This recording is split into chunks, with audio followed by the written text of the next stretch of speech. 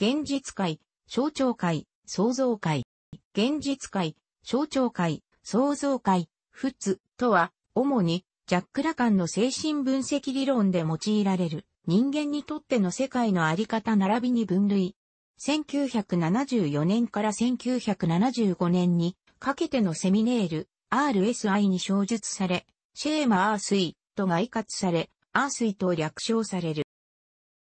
ジークムント・フロイトの現実原則や、イマヌエル・カントの命題エーン・リーラー・ジー・ジェンシュタンド、オーネ・ビッグラフ、つかみ得ぬ、空虚な対象。読語などから普遍した概念で、空虚で、無根拠な、決して人間が触れたり所有したりすることのできない、世界の客体的現実を言う。以下に記述する、創造界にも象徴界にも属さない領域であり、例としては、トラウマや不安、現実における体験などで言及される。ちなみに、フロイトの言う、心的現実と、ラカンの言う現実とは、まるで異なった概念なので注意を要する。ラカンによれば、現実とは決して言語で語り得ないものであるが、同時に人間は現実を言語によって語るしかないという一見逆説的なテーゼが成り立つ。一般的な理解のために単純化したモデルで例を示すと、例えばある大事件に遭遇した人々は口々にその事件を語る。これはその大事件という現実を言語という象徴的なものをもって描き出そうとしているわけである。ある証言者は事件の決定的瞬間を語るかもしれないし、別の証言者は事件の背景に隠された事情を語るかもしれない。こうして、あらゆる角度から証言がなされ、これらを集めてマスコミは事件の全容を解明しようとする。しかし、その事件をすべての角度から語り尽くすのは不可能である。現場にいたマスコミであっても、事件の一部分を体験していたに過ぎないのであり、言葉では事件をあくまでも断片的に大雑把に伝えることしかできないのである。同じように、どう頑張っても、言葉だけでは現実そのものを語ることはできない。言語は現実を語れないのである。ところが、同時に人は、言語でしか現実を語れない。これら二つの命題は、平板に見れば矛盾しているかのように聞こえるが、どちらも的を射ているようにも思える。ラカンは、この現実界の性質を、メビウスの輪のような立体的な論理として紹介する。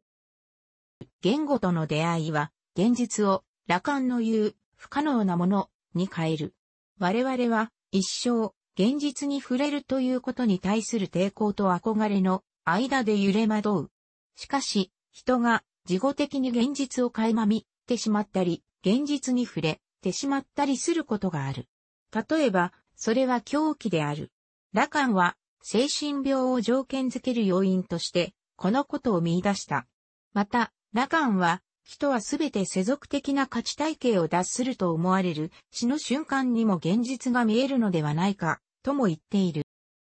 人間存在を根本的に規定する言語活動、仏の場のこと。また、数学などもこれに含まれる。ラカンは言語活動によって形成される人間のつながりを大文字の他者と名付けている。これは自己と他者をつなげる共通の第三者としての言語を指している。大文字の他者も言語活動の一部であることから、象徴界に属するものとして考えられている。人は胎児として子宮の内部に浮遊している状態では言葉を持つ必要がない。したがって言語活動は発生しない。さらに生まれてからも原初の状態を象徴的に言うならば乳児の口には母の乳房が詰まっている。これは乳児の必要をすべて満たしているから、言葉を発して何かを求める必要もないし、そもそも口に乳房が詰まっているから言葉の発しようもない。一方、これは乳児にとっては全世界を支配しているかのような快楽の状態である。これをラカンは強楽と呼ぶ。フロイトはこの象徴界や以下に記述する創造界を幼児と母親の関係でわかりやすく説明している。幼児は最初の段階においては常に母親が存在するので、あくまで理論である言葉を喋らなくても何かを想像しなくても全てが満たされている。したがって、この時点では、象徴や想像は存在しない。だが、やがて乳児の口から、母の乳房が去ると、そこに欠如、もしくは不在、存在欠如ともが生まれる。欠如が生まれて、初めて、乳児は母を求めるなり、父を求めるなり、まあなどと叫びを上げる。これは、言語より正確には、言語活動、普通、大の発生である。言語は、母親に何らかの欲求や訴えを伝えるために使用される。そこから自然と子供は象徴界、すなわち言語活動の使用へと参入せざるを得なくなる。幼児と母親の分離から、幼児は何かを訴えて母親を呼ばなければならないような状況に陥る。そして、このような状態から、幼児の象徴界イコール言語活動は形成されるのである。こうした象徴的な意味での言語の派生は、人間が人間となるために、どうしても通らなければならない段階である。言語とは、人間が自分の頭に思い描いているもの、すなわち創造的なもの、普通、得るイマギナイレを他者と共有しようとしたり、他者に伝達しようとしたりするために用いる、象徴的なもの、普通、得るソンバリックである。もっと簡単に言えば、子供は母親に対して何かを訴えかける最初の方法として言語を使うのである。その言語は社会的に共有されているがゆえに大文字の他者であるし、またその言葉自体は象徴である。したがって、言語は象徴界のものであると言われている。一方、社会は様々な人間がせめぎ合う場である。そのため、社会は無数の掟、契約、約束時でできている。そして、こうした掟は象徴的な意味で言語で書かれている。例えば、不分律や木形といった概念ですら、人間が言語を持たなければ存在することができない。また、掟を与えるのは象徴的な父である。したがって、上記の意味においては、象徴界とは掟であり、父であり、言語であるといった図式が成り立つ。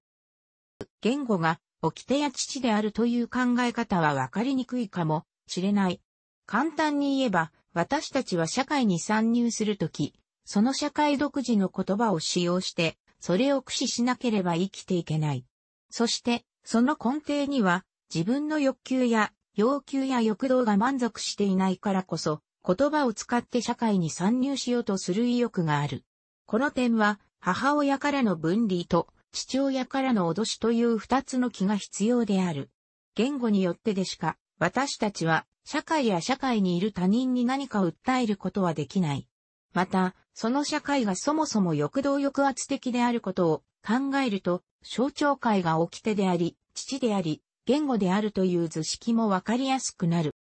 創造会とは、例えば、日常、平和、不幸といった人であれば誰しも漠然とイメージできるけれども、その正確な描写となると大変な労力を要するような対象と世界を指しており、かつ我々が頭で思っているものを言う。この創造界は母子関係の理論から求められる。幼児は初期状態では母親がいなくならない限り常に満足した状態で居続ける。しかし母親がいなくなればその欲求不満を何らかの方法で訴えるであろう。その最初の方法が想像である。この時、幼児は母親が微笑んでくれたりおっぱいを差し出してくれるような光を思い浮かべる。